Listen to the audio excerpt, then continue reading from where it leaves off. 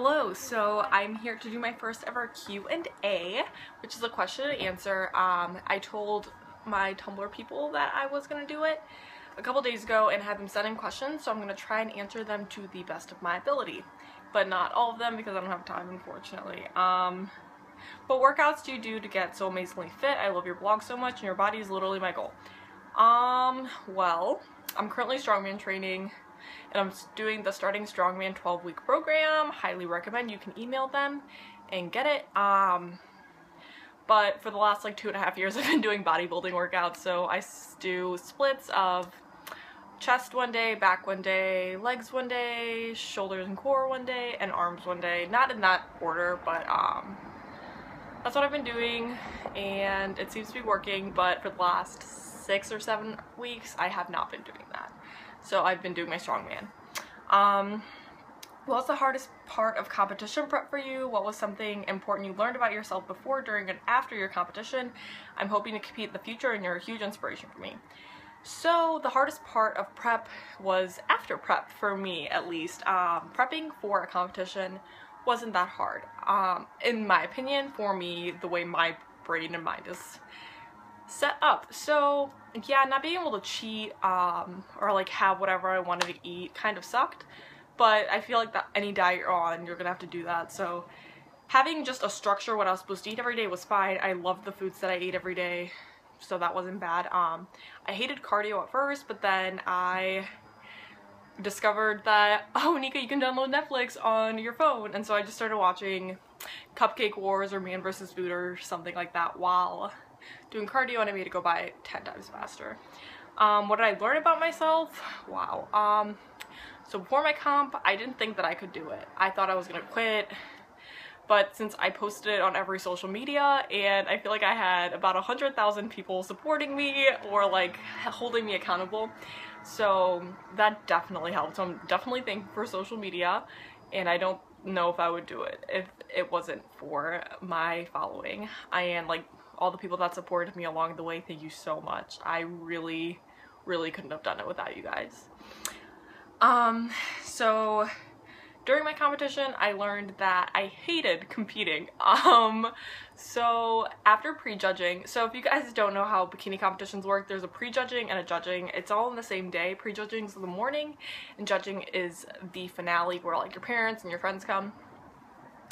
But for prejudging, right after I did it, um, so first of all, quick background of my show, it was extremely poorly organized and it should have been two days because everything was running three hours behind. There was about 700 athletes competing and so it was just a really big show. Um, for my posing, they didn't let us do routines. They literally let us walk in front, do a front pose, back pose, off and so everything that I've been practicing just went to shit really soon. So I didn't even get to show what I'd been working hard on, which I really didn't like. But um, so right after I, I finished prejudging, I texted my boyfriend and I was just like, I never want to compete again. He's like, oh my god, why? Blah, blah, blah, because he competed and he really liked it. And I found myself comparing myself to other women and the other girls there. Um, so I feel like for the last year, year and a half-ish, my whole goal has been to uplift other women and not to compete with them. And just to make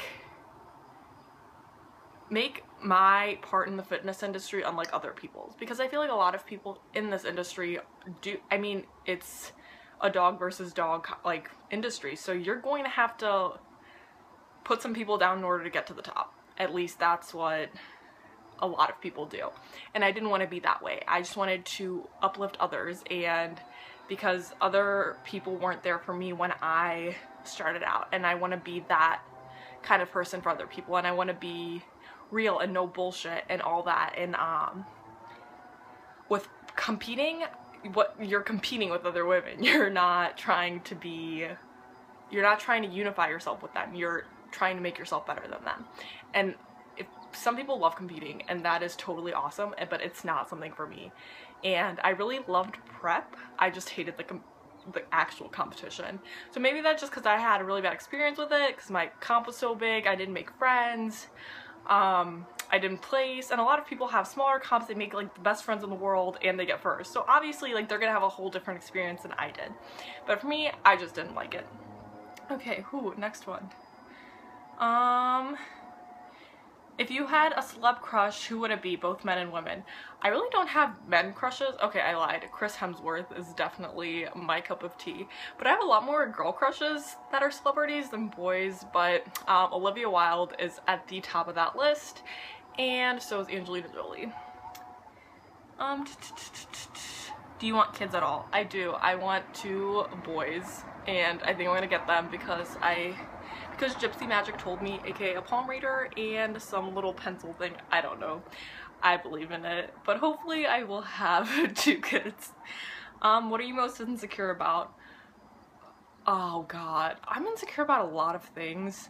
Um, my body a lot, which for like the average person, I would say my body's good, but I don't compare, I mean, you're not supposed to compare yourself to anyone, but I don't compare myself to the average girl.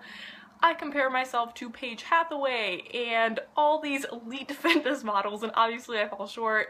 So my body, I have huge ears. Um, I can be a snarky bitch sometimes. I'm really sassy. And I don't know, whatever. I Overall, I like myself a lot. if you couldn't tell.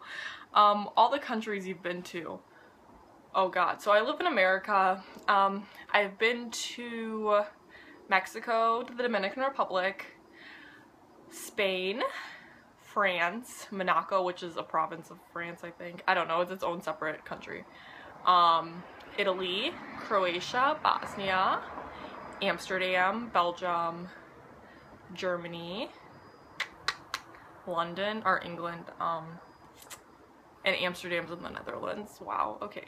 I've just, I've been to most of the Western Europe nations. Let's just keep it at that way. Speak in Croatian, please. I want to hear it. Šta? Because I don't know what else to say. And someone asked me to make a video in Croatian, but my Croatian isn't that great. I mean, it's good, but my grammar sometimes is a little bit off, and I would prefer not to, sorry.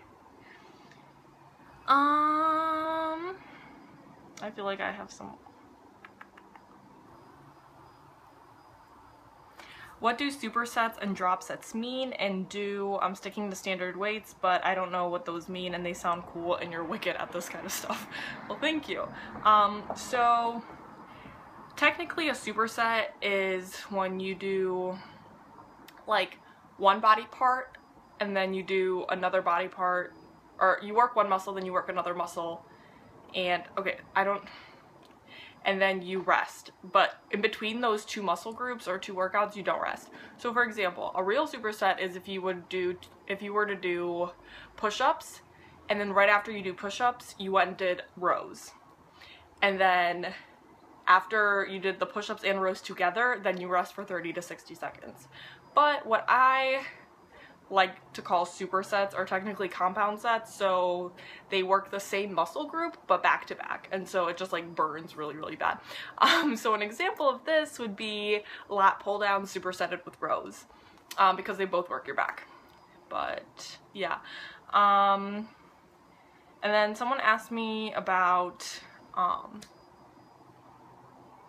what kind of set and range do you need to work in in order to maximize results, but it's different for everybody. Um, the like standard textbook definition for most of these things is if you're training for strength, you do five sets of five. If you are training for hypertrophy, you do four sets of 12-ish, 12 to 15. And then somewhere in the middle is three sets of 10, which maximizes both strength and muscle gains, which is hypertrophy. So do whatever you would like.